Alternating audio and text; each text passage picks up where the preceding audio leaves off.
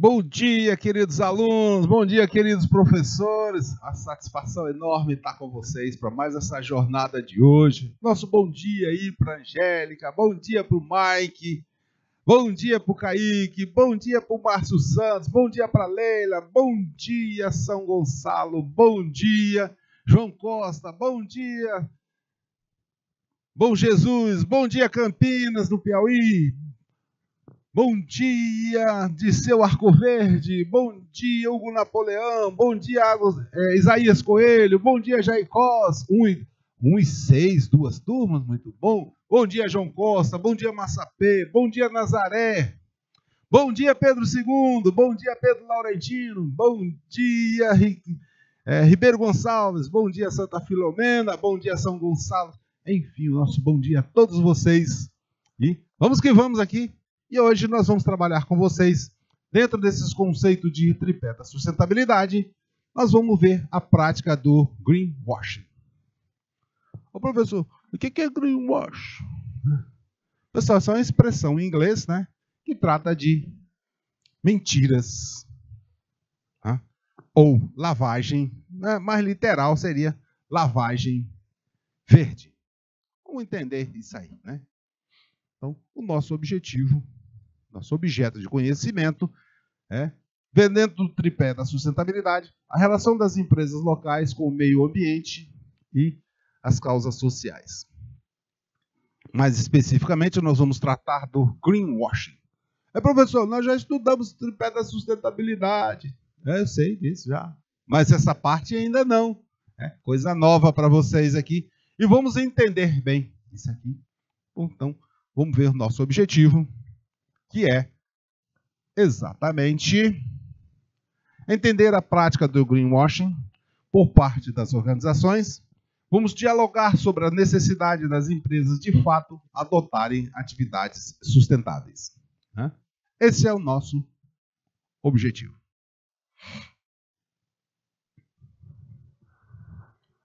Sustentabilidade. Pela imagem aí dá para vocês é, imaginar alguma coisa, não dá? Estamos vendo aí alguma coisa, né? De mundo verde e tal, essas coisas, né? Muita coisa. Mas vamos entender um pouquinho mais o que, que isso aí tem né, para gente. Na aula passada nós conversamos com vocês a respeito do. Opa, foi? Não, tá passando. Nós conversamos com vocês aí a respeito do tripé da sustentabilidade. E nós comentamos com vocês, dentro desse tripé de sustentabilidade, nós comentamos a respeito da desse tripé, sendo aqui o ambiente. Vamos fazer aqui o nosso tripé aqui, né, na sustentabilidade, todo verdinho aqui, bem direitinho. Desse tripé, nós temos aí, do ponto de vista da sustentabilidade, conservação ambiental, educação ambiental, uma visão mais holística, a ecoeficiência e inovação, desenvolvimento de tecnologias sustentáveis, gestão de resíduos e de riscos. Aí, pessoal, nós estamos falando, com gestão de riscos, está falando é do lixão mesmo. É esse que vocês veem aí na, perto da cidade de vocês. Né? A qualidade de vida e biodiversidade. Do ponto de vista econômico, então temos que mudar aqui a nossa é, foco aqui passar aqui o nosso ponto de vista econômico. Dentro dessa visão econômica, nós temos a prosperidade, os resultados econômicos, os respeitos aos fornecedores, o pertencimento empresarial, a competitividade de mercado e excelente relação com seus clientes. Então, nós estamos vendo aí o aspecto, é, envolve nesse aspecto aí, os aspectos econômicos. Inclusive aqui, também, no aspecto econômico, a remuneração do investidor, ou seja, do empresário. O pertencimento empresarial. Então, vamos fazer aqui também o nosso outro tripé, que é o econômico. Então, está aqui o nosso tripé. E vamos agora conversar, conversamos um pouquinho também a respeito do nosso tripé social, que buscamos aqui nesse aspecto o bem-estar, uma postura ética, a transparência Buscamos aí também a dignidade da pessoa humana, As metodologias participativas, ou seja, ser mais democrático, envolvimento comunitário também aí, reforçando a questão democrática, a conduta dos trabalhadores, a atitude das pessoas ou dos cidadãos e uma autoestima. Esse também é o nosso tripé da sociedade. Então, nós estamos colocando aqui o nosso tripé da sociedade também, aqui como base para a sustentabilidade. Mas, dentro desses triplé, eles têm interseções entre eles. E quando nós temos uma interseção, quando nós temos uma interseção entre o,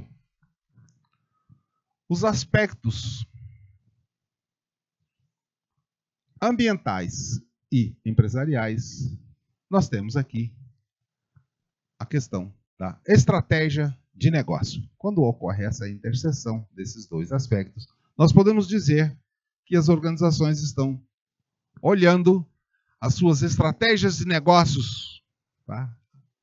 manter-se a questão ambiental e também gerar riquezas ou ter resultados econômicos. Quando ocorre a interseção entre o social e o econômico, nós temos aí um impacto socioeconômico proativo. Buscar a melhoria mesmo da sociedade, o desenvolvimento econômico. E quando ocorre também a interseção entre os aspectos sociais e o ambiental, nós temos aí um impacto socioambiental positivo. Então, vemos que se a gente considerar de formas isoladas, nós temos esses impactos e essa visão estratégica. Mas quando nós pegamos e fazemos uma interseção entre o fazemos uma interseção entre o ambiental, o social e o econômico, aí nós estamos pensando em uma sustentabilidade empresarial.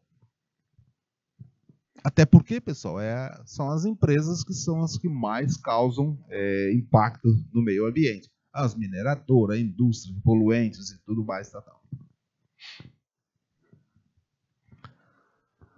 Se nós estamos falando em questão da sustentabilidade, nós também temos esse, esse triplé de relacionamento entre o lucro econômico, o ambiente e o planeta e as pessoas no aspecto social.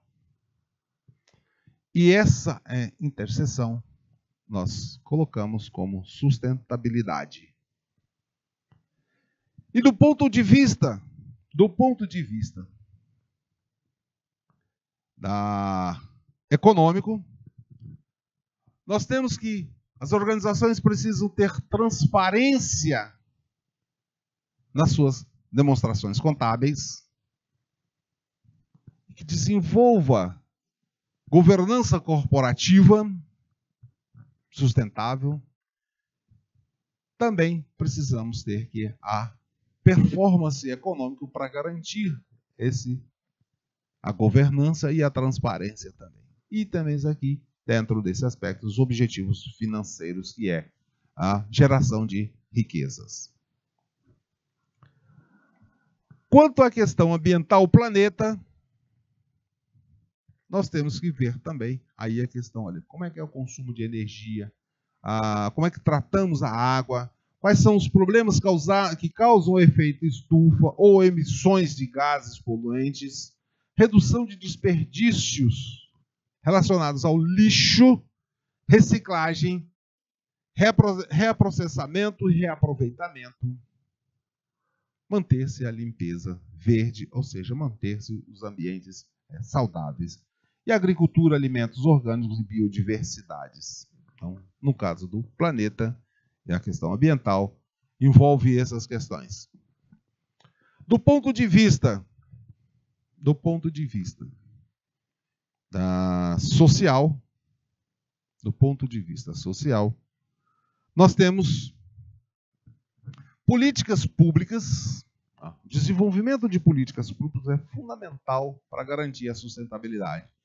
Investimentos comunitários, ou seja, as comunidades começarem a ter é, acesso a investimentos para se desenvolver. Condições de trabalho apropriadas, saúde, nutrição, a, a convivência com a diversidade da pessoa humana, os direitos humanos, o direito à vida, à sociedade, à saúde, à educação, investimento social responsável e anticorrupção e suborno e segurança. Juntando tudo isso, nós vamos ter o nosso conceito de sustentabilidade estabelecido. Essa ideia. Pessoal, mas fazer isso não é fácil, não é simples. É bastante complexo isso, porque há um, uma, são questões de jogos de interesses que deixam muitas coisas a desejar. E uma das questões que a gente leva em consideração aí agora, para que a gente possa ter essa ideia de sustentabilidade, é o greenwashing. Precisamos entender esse greenwashing aí. E assim, agora ah, começamos aí a nossa interação novamente com o chat. E eu quero que vocês imaginem, olhem essa imagem que está aí e digam o que estão vendo. Hã? Vamos lá. Josiele Mendes, Kaique, Mike, Ange, Angélica, São Gonçalo, João Costas, João Costa, São Gonçalo, Santa Filomena, Ribeiro Gonçalves, Pedro Laurentino, Pedro II. Vamos lá, pessoal, vamos manifestar no chat aí. O que é que vocês estão vendo nessa imagem? Olha, é muito importante a gente saber o que vocês estão vendo. Muito importante. Porque a partir da visão que vocês manifestarem aí, a gente vai dar destaque mais para esclarecer um pouco mais. E aí? Estou esperando.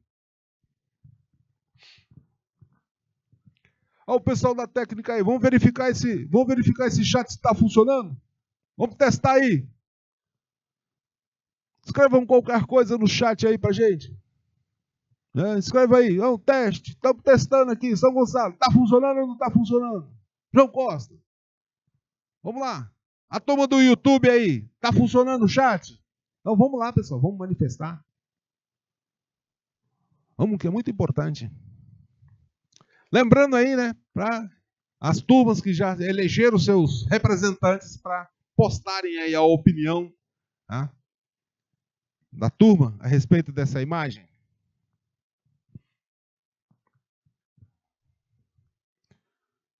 professor, eu estou pesquisando aqui na internet primeiro o que, o que é o significado desse greenwashing. Vou traduzir para vocês, tá? Green é verde, washing é lavagem.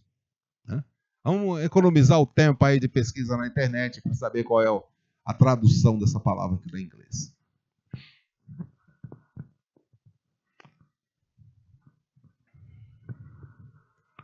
Ah, São Gonçalo.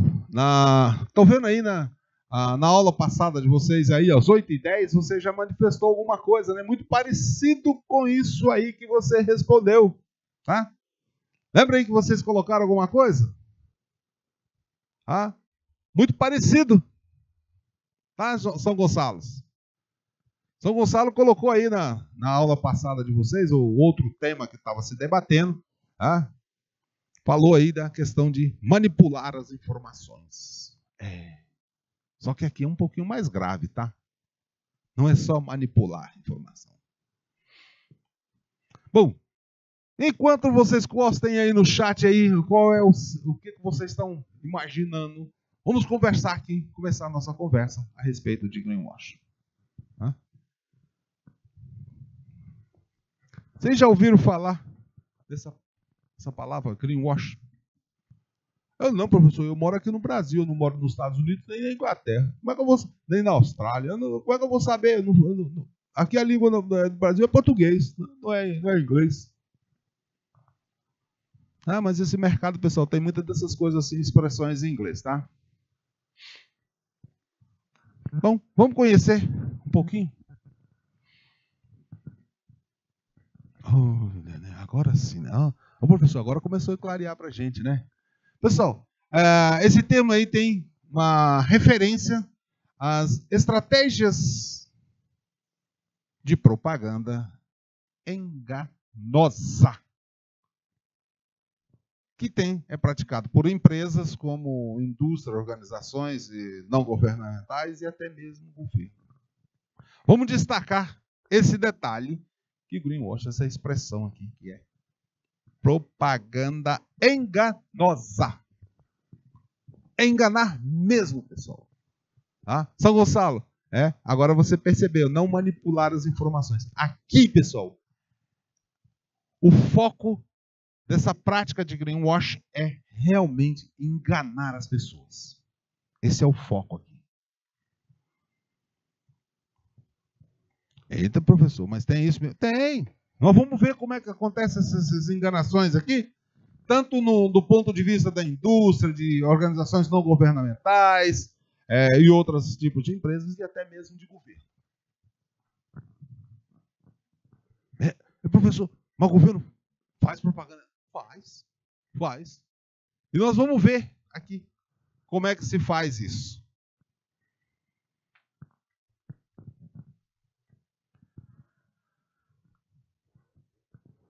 Mas qual é o significado exato desse, desse termo? Né? Nós falamos ali que é estratégia de propaganda enganosa. Então, qual é o significado mesmo? Podemos dizer que o significado dessa palavra aí tá para gente como sendo lavagem verde. O professor, ali estava naquela pintura que o senhor colocou na primeira imagem lá, Tava, tava colocando lá que tava o pessoal pintando de verde a chaminé da, da, das indústrias poluentes.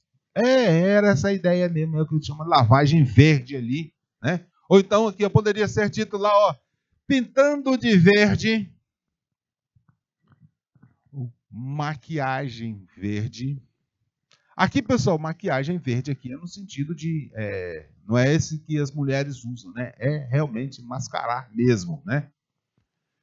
E isso aí consiste numa prática de promover discursos, anúncios, propagandas e campanhas publicitárias, publicitárias com características ecologicamente e ambientalmente responsáveis, sustentáveis e verde, ou seja, o Eco Friday. Mas na prática é feita propaganda, mas na prática não ocorrem atitudes voltadas para a sustentabilidade. É só propaganda. Só casca mesmo. Só ali aquela né, coisa para manipular as pessoas.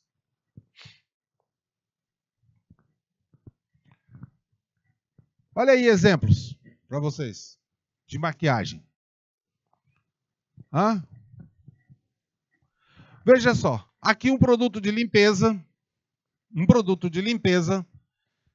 Veja só, todos esses produtos, pessoal, todos eles saíram de uma posição original para uma posição dando uma ideia de que é ecológico, que é verde, não é isso? Olha ali. Pessoal, não mudou nada, não mudou nada no produto. Aqui é um produto de limpeza. Nova embalagem, agora nós somos ecológicos. Aqui uma rede de fast food. Agora nós, nós somos ecológicos, não comer, não, nossos produtos agora não não proporcionam obesidade. Olha aí, nós somos verde, nós somos ecológicos. O outro aqui também, olha aqui, né? Mudou aqui, né? A embalagem verde, né? Mostrando ali, olha. Ah, um campo florido, bonito. Pura enganação. O produto é o mesmo. Pura enganação. O produto é o mesmo.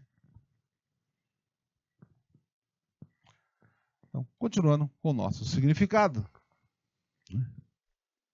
Nós vimos aí que o motivo do greenwash, ou seja, essa manipulação, é a intenção de criar uma falsa aparência de sustentabilidade de forma a induzir o consumidor a um erro e comprar o produto acreditando que está contribuindo para a causa ambiental ou animal. É. Então você olha aquela embalagem toda verdinha, toda bonitinha, e fala assim, não, isso aqui protege o meio ambiente, né? Eu sou uma pessoa responsável e tal, eu gosto de é, conservar o meio ambiente, eu sou desses é, que apoio essas questões de sustentabilidade, e eu vou comprar esse produto.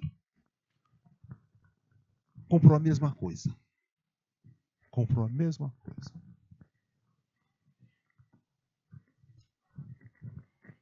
Olha aí, olhem com a lupa. Hã? Olhem com a lupa. Opa, João Costa, gostei aí da, da carinha, né? Vamos, vamos, vamos, manifestar com essa linguagem também aí, a turma. Só o João Costa que tenha é, essa forma aí de manifestação, tá? De olho, gostando, não é isso? Então tá lá, né? Uma embalagem, né? Foi pintada toda de verde, para parecer que tá tudo conservando com o meio ambiente, mas é pura enganação.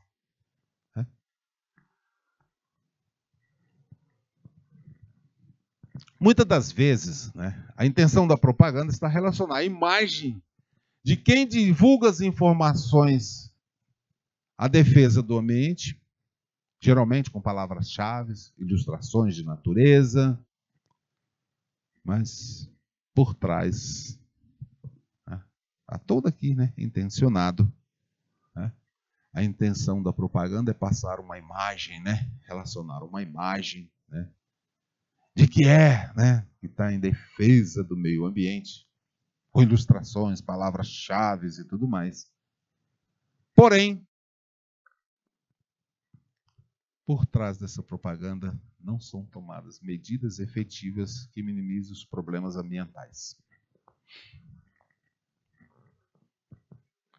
Além disso, pessoal, além do mais, é o seguinte: além de não tomar medidas nenhuma, o produto que está sendo veiculado, o produto que está sendo veiculado, ele gera impacto negativo no meio ambiente. Pior, né?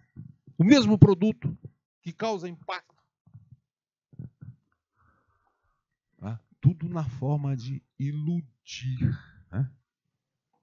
É, de iludir as pessoas. Exemplos de greenwash, ou seja, a mentira. A gente poderia traduzir né, o greenwashing como mentira verde. Né? É, pura mentira mesmo. Né? E pasmem, pessoal. Pasmem mesmo. Né? O IDEC, que é o Instituto de Defesa do Consumidor, realizou uma pesquisa em 2018 com 500 embalagens o IDEC, realizou uma pesquisa lá em 2018, analisou 500 embalagens de produtos, né?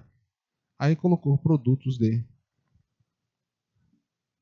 colocou produtos de higiene, de limpeza, utilidades domésticas, né? Para verificar a existência ou não de práticas de greenwash. Pasmem. Pasmem mesmo. Pessoal, é, vamos, vamos, vamos fazer o seguinte.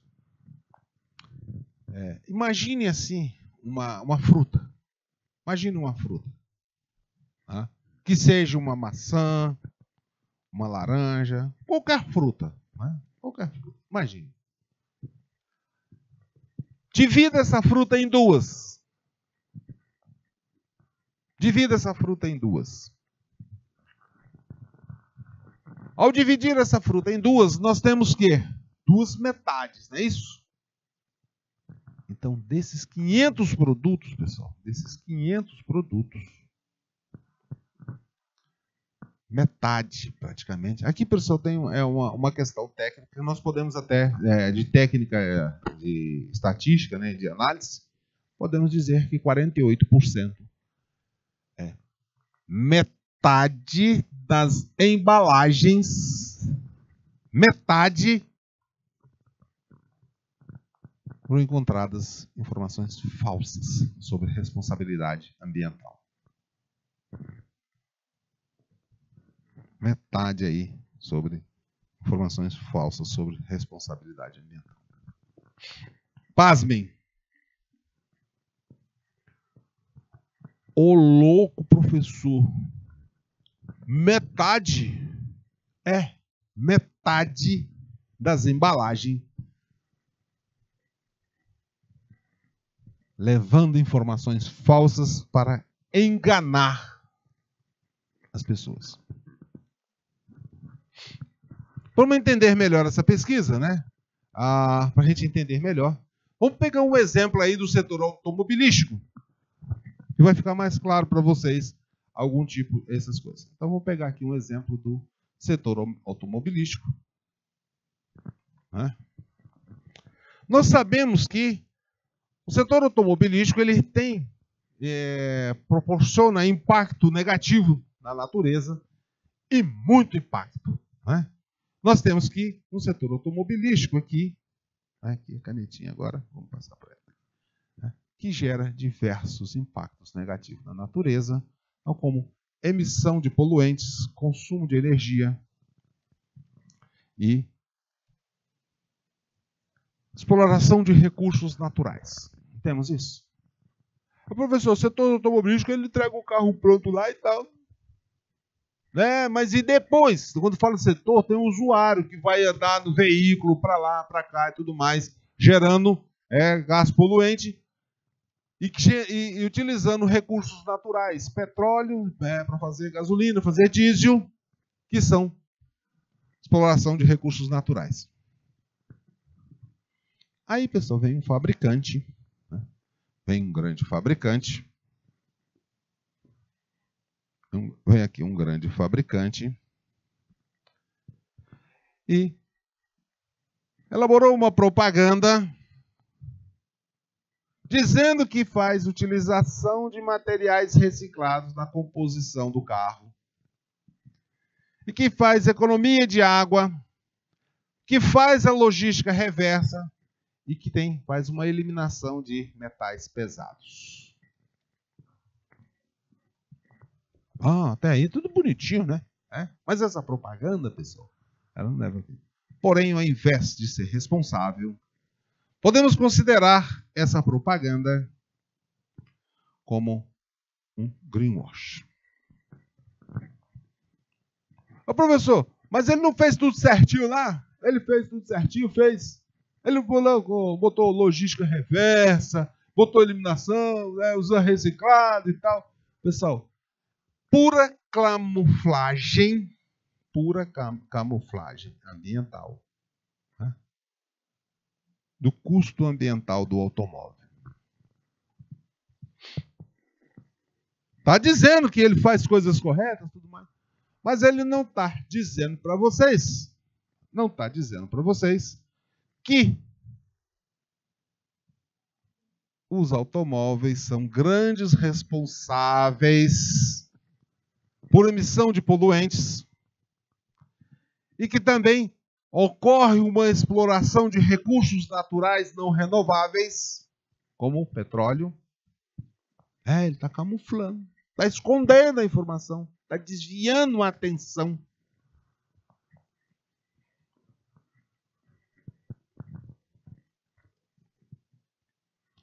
E está dizendo que as práticas dele são todas é, ele está dizendo que essas práticas dele são todas sustentáveis. Né? Mas tem um outro detalhezinho nessa mídia também. Tem um outro detalhe. Ele disse aqui que usa materiais reciclados, que ele uh, usa técnica de eliminação de metais pesados, que usa logística reversa e outras mais não apresentou nenhuma certificação que garanta que ele realmente está fazendo essas atitudes? Então, ele não tem garantia nenhuma que fale a respeito de que ele realmente faz as práticas, as práticas que ele diz que faz, que ele faz. Professor, e tem, e tem, tem sim que comprovar. Se ele diz que faz, ele tem que mostrar a certificação de que ele realmente faz. Senão, é pura enganação. Outro exemplo que temos aí, né? na aí vamos ver agora também aqui já no, no, no setor público, né? Na setor público, nós temos aí algumas, é, algumas prefeituras, algumas cidades que divulgam é, informações, né? Antes e durante o processo eleitoral, antes, durante e depois, e seus marqueteiros informações em seu marketing, colocam lá palavras em outdoors, né? Cidade sustentável.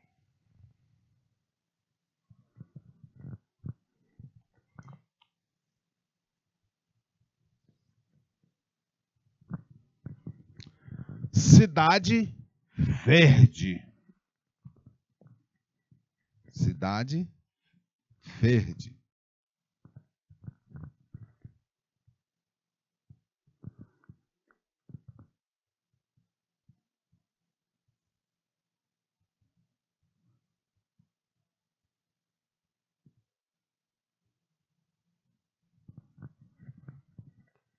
e utilizam é, essa cidade verde, cidade sustentável, eles utilizam imagem que retém, né, remetem a uma ecologia consideradas, né? Mas assim, pessoal, são, podemos dizer que isso aí nada mais é do que um greenwashing. Porque na verdade, assim, esse povo, né, não realiza nenhuma atitude efetiva para que a cidade se torne sustentável. Muito pelo contrário. Como é que eu posso dizer que uma cidade ela é sustentável se temos fome? Se é uma cidade é, verde, se temos esgoto a céu aberto e outras mazelas mais, lixões e tudo mais aí nas beiras da cidade e tudo mais. Como é que eu posso dizer que uma cidade é sustentável, que é uma cidade verde? Se observamos aí Brasil afora, o mundo afora também, fome, esgoto a céu aberto e outras mazelas maiores. Lixão. Ah, vamos botar aqui o lixão também, né? É bom a gente colocar o lixão também, que faz parte aqui do desse contexto, né? Vamos colocar aqui o, o lixão, né? E aí a gente pega essa setinha também e coloca aqui, né? Pegando aqui as duas, tá? lixão. Como é que eu posso dizer isso? Não dá, né? Não dá. Fiquem atentos, pessoal, quando estiverem usando essas terminologias. E aí nós precisamos saber como identificar e prevenir para que nós consumidores não vamos cair nesse engano. Tá? Então aqui nós precisamos ver que nós como consumidor não cair numa propaganda enganosa. Né? Vamos ver aqui alguns exemplos, né? Fique atento, fiquem atento quando vocês ouvirem nas frases, ou nos dizeres ambientalmente corretos.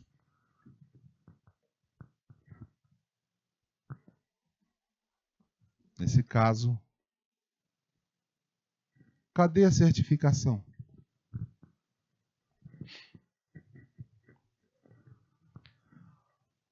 Nós temos aí que alguns exemplos de é, certificadoras, tem o FS, FSC, que é o Forest Stewardship Council, Conselho né, de, de Fiscalização. Temos o IBD, que é o Instituto Biodinâmico. Tem o Procel e o Ecocert, que são instituições que estão que fazem parte, né? Exemplos de certificação. Temos aqui esses exemplos aqui de certificação. Embora a gente saiba que esse selo que certifica ali, ele não dá uma garantia que o produto esteja dentro realmente seja, mas pelo menos ele dá um indicativo pelo menos ele dá um indicativo da veracidade das informações que estão presentes no anúncio. Professor, quer dizer, claro, o camarada pode fazer uma embalagem, um rótulo e coloca lá que realmente ele está ali prestando as informações, a, a, a, instituição certificadora confere e vê que realmente a informação é consistente no rótulo. Porém, no dia a dia, a embalagem pode ser um pouquinho, o que está dentro pode ser um pouquinho diferente. Mas tem outros, tem outras formas também de ver certificação. Além de vocês verem os rótulos lá, né? pode também fazer um, uma visita ao site de, da certificadora e ver se há o cadastro da empresa lá. Né? E ver se ela está realmente usando um selo ou um certificado real. Porque existem muitos que manipulam esse certificado e usam lá alguma coisa como se fosse uma certificação e não é. É falsidade mesmo.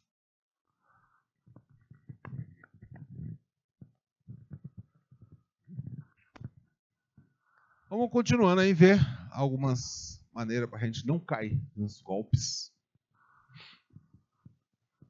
Uma delas é que o produto pode conter um certificado falso ou uma imagem que lembre, uma imagem que lembre um certificado original. É, colocam lá uma imagem. Colocam lá uma imagem parecida, tal. Aí a pessoa acaba se enganando, né? É, o leigo né, pode até pensar que é uma imagem real, mas não é. E isso, pessoal, é intencionalmente é intencionalmente para induzir a pessoa ao erro. Então vocês verificarem isso para não cair nesse erro. Outra questão também para que vocês não caiam, né? Que são usados alguns termos vagos, que nada diz, do tipo assim, amigo do meio ambiente. Ora, que amigo é esse? Hum? Que amigo é esse do meio ambiente que a gente né, depara com situações de queimadas no Pantanal, desmatamento na Amazônia, derramamento de petróleo nos mares, rompimento de barragens de mineradoras. Ou então também usa lá outro termo, sustentável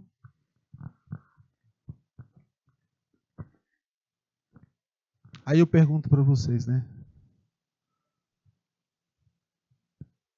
Como é que ele esclarece que essas atitudes aqui são verdadeiras? Só enganar. Só enganação aí. Eita, professor, hoje eu tá. É, tô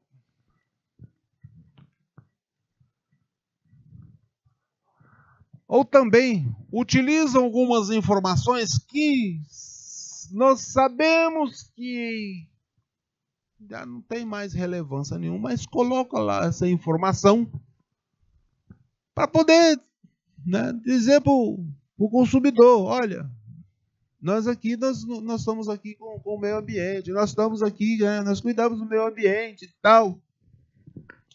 Como do tipo assim, numa determinada embalagem, consta lá. Não contém CFC, que é uma substância, pessoal, da família do clorofluorcarbono, que causa problema na camada de ozônio. Há um tempo atrás, né, quando foi né, descoberto que isso aí era um dos causadores né, de problemas na camada de, de ozônio, né, era uma informação relevante. Porém, nós já sabemos que essa, essa substância nociva ela é proibida por lei. Se essa, se essa substância ela é proibida por lei, né? se ela é proibida por lei, significa que aquilo ali, pessoal, já não é mais ambientalmente correto. Mas, por que dizer? Se já é proibido, não faz mais sentido colocar isso. Ali é só forma de maquiar uma informação. É, quando vocês forem, é, queridos professores, queridos alunos, né? Aí, vocês derem uma olhada né, no, nos pacotes de macarrão e vão ver lá. Não contém colesterol. Ora, não é para conter mesmo. Colesterol é, é, é, origem animal e não vegetal. E o macarrão é feito de quê? Trigo. Trigo é o quê? Vegetal. Para que, que tem aquilo lá? Só para é? enganar as pessoas. E isso, pessoal, nós chamamos aqui por uma situação de distração. Né? Distração que é feita.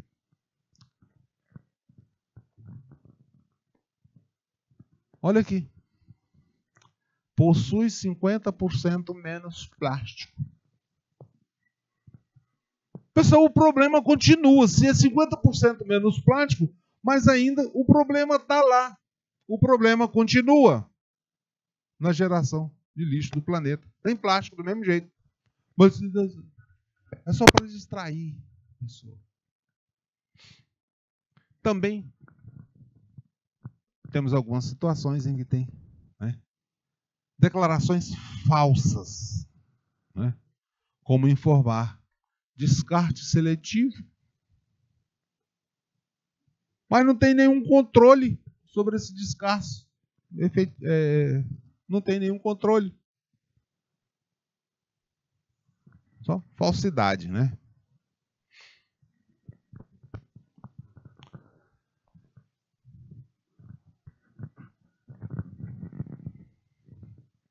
Também outra coisa é o seguinte, tá lá aquelas informações lá no rótulo e tudo mais, mas onde é que procura? Onde é que você procura? Pode buscar que aquela informação é verdadeira.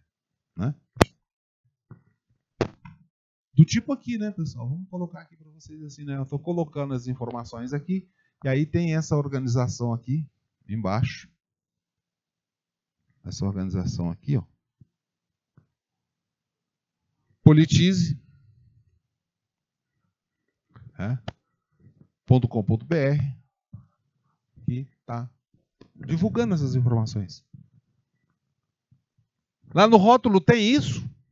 Que onde é que você pode confirmar? Nem tem, nem, nem manda isso, nem coloca. E aí, pessoal, vamos apresentar agora para vocês os dados que foram né, é, verificados na pesquisa pelo IDEC. É. Pesquisa feita aqui no 2018, né, entre novembro de 2018 e junho de 2019. É for analisar essas práticas de greenwashing em produtos como de higiene, limpeza, é, conservação e utilidades. Né? E essa pesquisa foi realizada né, é, em cinco supermercados nas, nas regiões de São Paulo, no São Paulo e Rio de Janeiro. E as conclusões aí, com base na, nos dados analisados, pasmem pelos resultados. Veja só, a, a pesquisa foi coletada a partir de 500 produtos que tinha alguma referência de cunho ambiental. Não foi pego qualquer produto. Esses produtos eles tinham alguma alegação de cunho ambiental. Então é para verificar se aquelas informações realmente são corretas.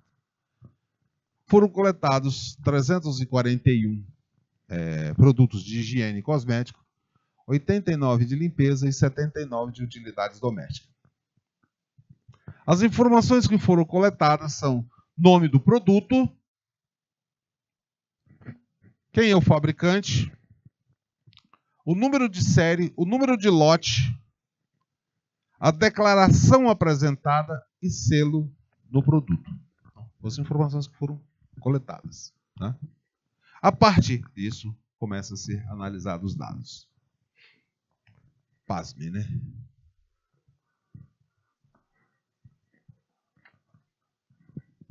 É como se você pegasse assim, um queijo ou uma, uma, um queijo e partisse ele ao meio e metade, ou 48% que revelou na pesquisa, pratica a mentira verde ou greenwash. E a outra metade, tranquilo.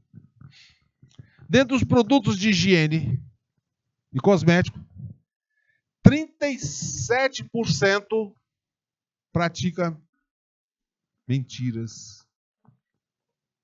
nos seus rótulos. Diz alguma coisa, mas não cumpre. De produtos de limpeza, piorou. 66% dos produtos de limpeza pratica algum tipo de greenwashing. Piorou ainda mais quando nós vamos para a utilidade doméstica, que dá 75% dos produtos. São problemas.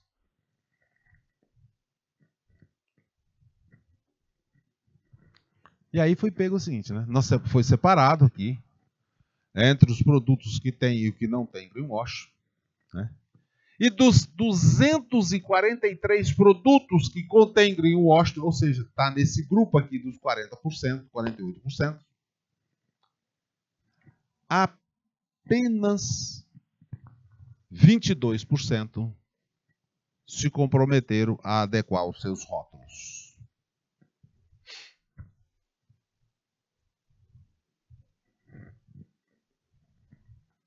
É de ficar pasmado, né? Além de cometer, mesmo sendo alertado que se comete esse, essa enganação com o, com o consumidor, estão nem aí. Dos 243, menos de 10%. Menos de 10% se comprometeram a adequar seus rótulos para passar a informação verdadeira. E aí é o seguinte, separamos aqui agora, para vocês terem uma ideia, né? os problemas mais identificados em produtos com greenwash. Né? Então, dentro dos produtos aqui, os problemas aqui. Sem provas das informações contidas lá. 168 itens. Irrelevância, ou seja, postura irrelevante, 129. Vagueza ou imprecisão, 65. Ah, adorando falsos, adornando né, falsos rótulos, 21. Lorotas nos rótulos, 16%. Troca oculta, 12%. E menor dos males, 6%. As principais alegações, né? as, as principais alegações identificadas foram, né, pela simples declaração não contém é, CFC, declarações vagas, 41, biodiversidade, biodegradável, oceaneantes, 35. E por falsa, vamos pegar agora de outra cor. E por falsa informação comprovada, não testado, é, não verificado a economia de água, a questão de não ser biodegradável e economia de energia. Só informação falsa, simplesmente para enganar. Fiquem atentos. Fiquem atentos. Algumas recomendações que nós colocamos aí também para vocês como consumidores. Né? Fiquem atentos como consumidores e divulguem essa atenção também. Né? Recomendações como procure, né, por certificados de terceiros, principalmente lá as certificações ISO 14021, que está relacionada a questões ambientais. Procure dentro dos rótulos né, evidências de sete pecados na rotulagem ambiental. Vejamos eles. Vejamos esse aqui. Aqui, ó. Um apelo ecológico, ecológico está se referindo apenas na questão ambiental. Falando um custo ambiental camuflado. Fornece informações, né, desviando como é na indústria automobilística. Outro apelo né, fornece informações e evidências sobre sua previdência, mas não apresenta a prova. Cadê as provas? Né? Cadê a certificação? Pessoal, cheque lá nos, nos órgãos. Um, um apelo também, é, um apelo ambiental é autoexplicativo. Se não apresenta alguma indicação sobre o significado, estamos falando aqui de ter uma incerteza do que está sendo colocado. Então está colocando lá ecologicamente correto, mas não tem certeza do que, que se trata nem nada. Muito vago e incerto. Outro também. Poderiam todos os produtos apresentar o mesmo apelo. Uma irrelevância, né? Se todos os produtos não contêm CFC, todo, todos os produtos poderiam colocar. Poderiam colocar no arroz, no feijão, na galinha, no frango, na carne e tal. Ah, não contém. Ora, não tem mesmo. É irrelevante. Colocar.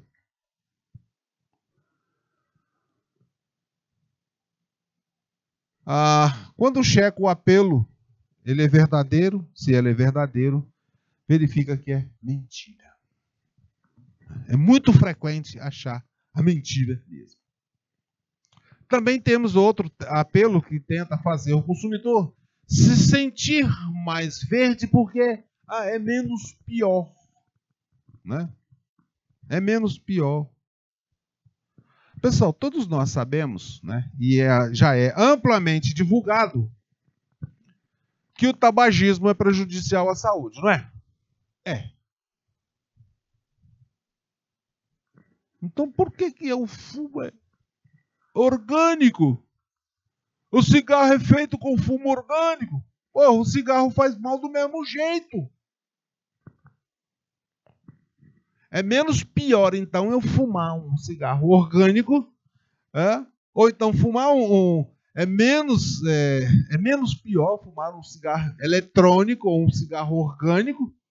Ora, todos, todos fazem mal.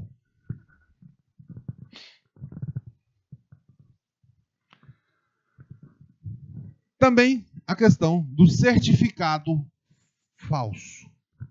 Né? Falsificação mesmo de certificação. Isso é um problema sério.